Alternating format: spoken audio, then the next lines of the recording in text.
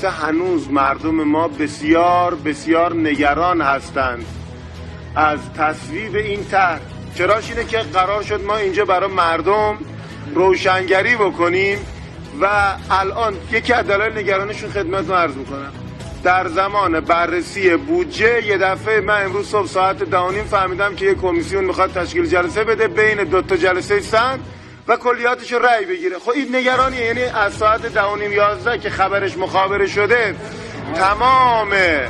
دارم ببخشید یه نفر مخالف صحبت می‌کنه همه خونه با جواب بده تمام. اون دوستانی که با ما ارتباط داشتن از صبح تا حالا همینجور دارن یه پشت به ما تماس می‌گیرن.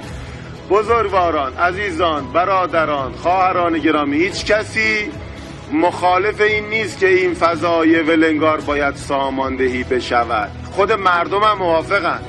اما آیا ساماندهی کردن با اون چیزی که ما تو این داریم بررسی می‌کنیم یکیه؟ از نظر شما هست ولی از نظر متخصصین و کارشناسان و دغدغه مندان و آهاد مردم نه. من وظیفه شرعی خودم بود برای ثبت در تاریخ این رو صحبت بکنم.